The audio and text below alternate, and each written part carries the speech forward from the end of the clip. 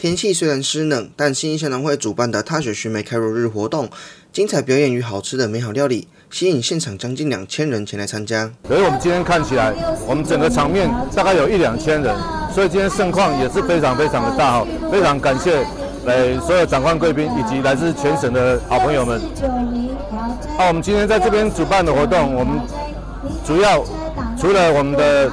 呃家政办的。美食料理以外，我们今天最重要的就两个 DIY 的活动，一个是爆梅花的 DIY 活动，另外一个就我们刚刚刚做完的手做泡菜，用我们梅梅子加我们的高山蔬菜来做成我们的泡菜，所以我们是用我们的梅子芝士酱加上我们的高山高丽菜一起来结合。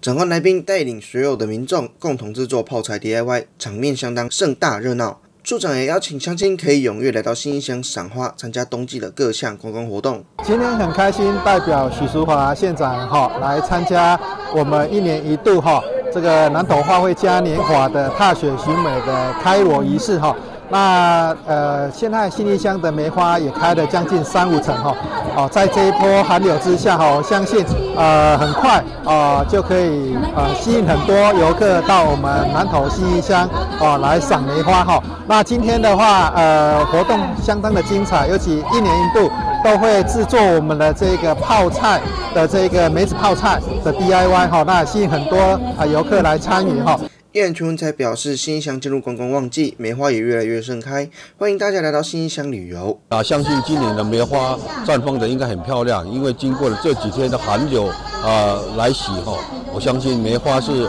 越冷越开花哈。那我相信这一段时间差不多半有两个三个礼拜的时间，应该梅花在绽放的时候，希望啊我们全国观众喜欢赏梅的，也可以利用这个时候。呃，到我们新义乡来赏梅，